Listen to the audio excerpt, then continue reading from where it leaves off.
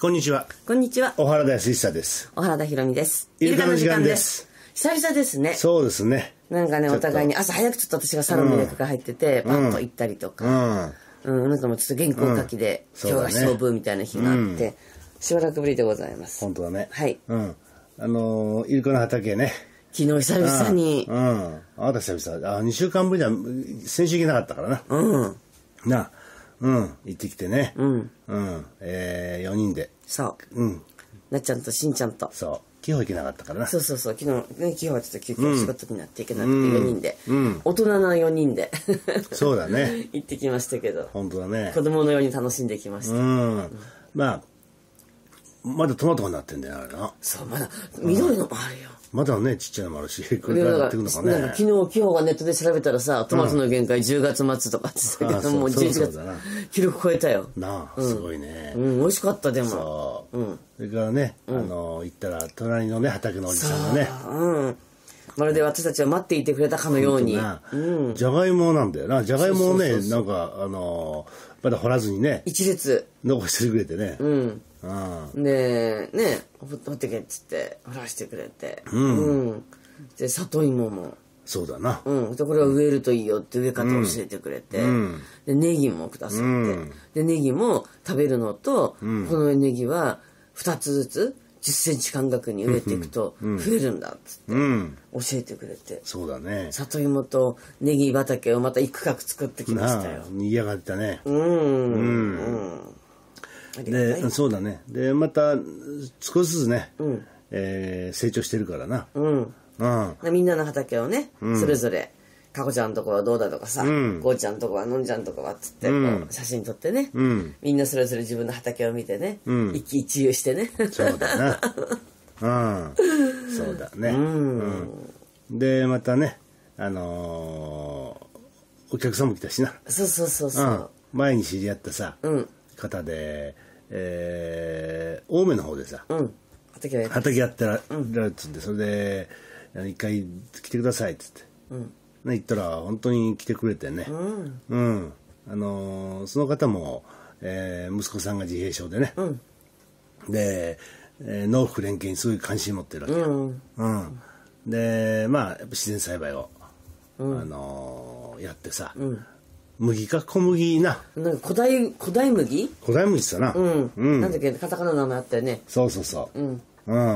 スパ、なんで、スパルス、ステルス。なんかそんなな。そんな名前の。うん。あの、麦を、えー芽が出たっつったもんな。そう。うん。ねえ、今度見見に行かなきゃね、そこね。なあ、ううんん。だからなんかなっちゃんそれ知っててな、その麦のことをな知って。た知ってたうんでその小麦を使ったパン屋さんがあるって言ってさ盛り上がったよね、そうだよ。なんか、なんか俺ちょっと、あの、捨てる種をもらってきたみたいな、そんなふうに捉えたそうそうそうそうそうそうなそうちゃんとそういう名前なんだよなんかあるんだようん、あそうだスペルト小麦スペルト小麦あそうスペルトじゃなくてスペルトなあ、うん。まあ、あの、えー知ってる人は知ってるんだろうな。そなんかそんなパン屋さんがあるぐらいだからさ。ううん。なあ。まあだからそうやってさ、なんかみんながいろんなことにチャレンジしてさ、ね。興味持ってね。そう。でね3年後にはあのそのそれでパン焼くんだって言ったもんな、そうそうそうそう、アレルギー起きにくいってねそのそうだよな。古代古代小麦だとね。なあ素敵だよな、そうやってな、いろんなことをね。うん、まああのーそういう畑で楽しいことがあって結構早く行ったんだよ。えー、9時半頃に着いた朝の、ね朝9時半頃に着いて。昨日は順調で、まあ、平日だからやっぱり空いてるよね。なあ、で、えーびっしりと3時間ぐらい昼ご飯までな、おむすび持って気がさついたらもう12時だっつってね。なあ、やってたよな、うん。草刈ったりな、あのーじゃがいもじゃがいもねまたな,、なネギ植えたりとかさ、してるうちにな、で昼ご飯食べてから、まああそこいいとこいっぱいあるからさ、ねせっかくだからちょっと、えーちょうどまああのー色づいてるしな山もな、いいんじゃないっつってさ、なそれであのーあそこ行ったんであのー小さな美術館な、でその小さな美術館行く手前になっちゃんがいつも橋の上から見てるところどんなところだろうって川のところ。そうだね、あのホタル私ホタル見てたからうん。あそこいいよな、うん綺麗。じゃあ降りてみようかっつって車脇に止めてさ、で降りてったらもうなっちゃんもしんちゃんも感動してたよねなあ。これ東京って。うん。でも綺麗に結構なあの掃除しちゃったな。うん綺麗になってた。なあ、でやっぱ水きれいやね。綺麗。めちゃくちゃきれいやねあれ。透明度が違う。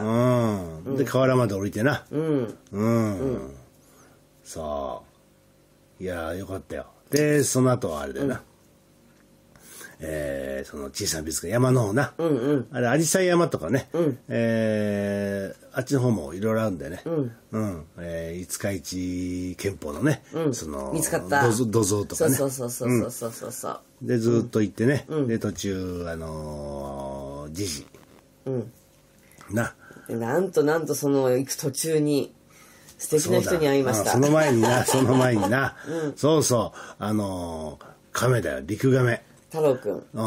うん、あれがさいつだったっけな？行き始めた頃だよなまだな。まだあのキホとあなたとあと3人で。なあ。そしたらあのーあのなんて商店街っていうの？そこ、うん。なあのメインの道路道路だよ。あ駅前の通りだよね。うん。なあ、あそこのさ、歩道をさ、ね、亀散歩してる人いたんだね、なあリードつけてな。そうびっくりしてさ。何それっつってさ。で通り過ぎて「え今の彼じゃない?」って言って、えー通り過ぎて止まって、キホが写真撮らせてもらって。そうそうそう、そんなことあってさこの間もそういう話したんやここ,、ここにあの亀散歩してる人いるんだよっつって。まさかみたいに思ってたんだよねきっとね。冗談だと思ってたんだよねあれね。うん。そうそうそう、ででもまあえっ、と時間帯別になわからないしさ、あのいつ散歩したかわからんし。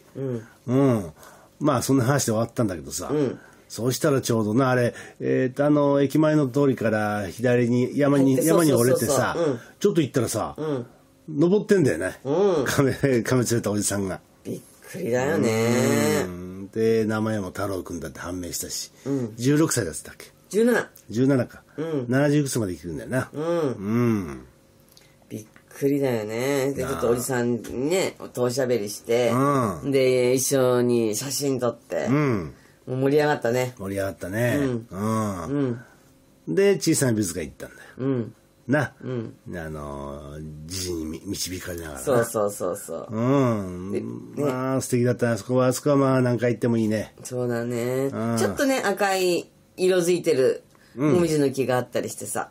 うん。ストーブも出たもんな。そう、えストーブと思ったけど、日が陰ったら本当一気に寒くなるんだよね。森の中だからね。そうだよな、喜ん。でたね、しんちゃんもなっちゃんもな。うん、いっぱいでかい声がいてな、うん。なあこれ一匹暮らすんですかなんてチョウザメとチョウザメとね。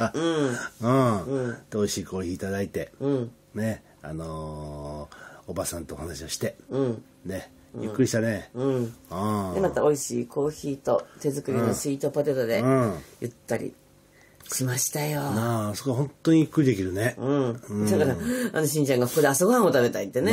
泊まるところはありませんかっつって。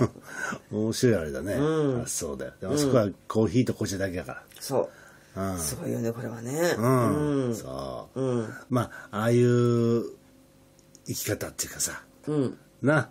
あのあそこはねプリンプリン物語のね、あの人形を作った。そうあの友永明光さんとお読みするんだねああそうか。友永明光さん。うん、その方がね奥さんと一緒にね、そう。ええあのー移住して。そう。で作ったとこなんで手作りなんだね、お家がね自分で作ったとす窓ごいよね枠とかも全然違うもんね。うんまあ芸術家そうだだよねな。うん。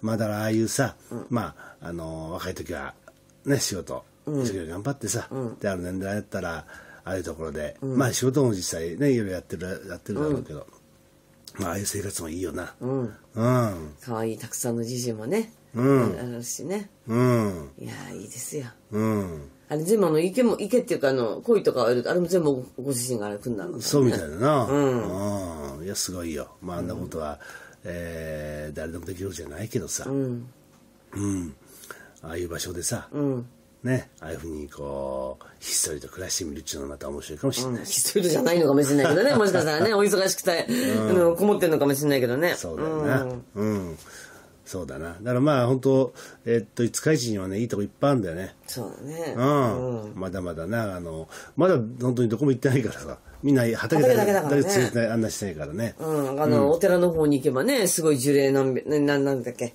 樹齢200年？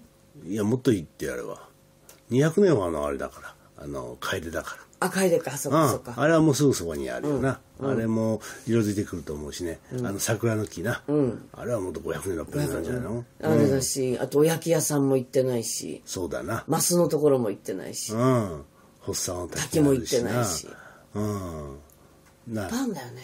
えあるよ。あのーお風呂もあるしな。そうだよね。うん。いっぱいあるんだよね。楽しみだねこれからね。なあのーほら喫茶店もあるしな。そうだね。うん。バーベキューもあるし。そうだよ。あのあとうちらが行ったほらなんかあのねあの大きななんとか住宅。養蚕やってたところ。ああそこも素そうだ敵じゃん。郷土郷土感うんあそこもすごい素敵じゃん。そうだよね。うん縁側に座ったらさ、うん。あれも近くだからな。そうだね、うん。まあこれから少しずつねあの畑もコツコツと、うん。みんなで楽しみながらそうだね。畑プラスちょっと何か楽しどっかにしようかっていうことでね、うん。やっていやっていきたいね。くといいよね、うん。うん。まあだから我々だけでの時もいいけどまたね、えー仲間が一緒に行ってくれるとね楽しみだね嬉しいよね、で昨日はねお隣の畑からいっぱい野菜もらってきて帰ってきから鍋にしたけどさ。そうだね。なんかみんないい人だなと思ってしみじみね。うん。ね。思いました。はいどうも。はいまた行きましょう。はい。はいありがとうございました。ありがとうございました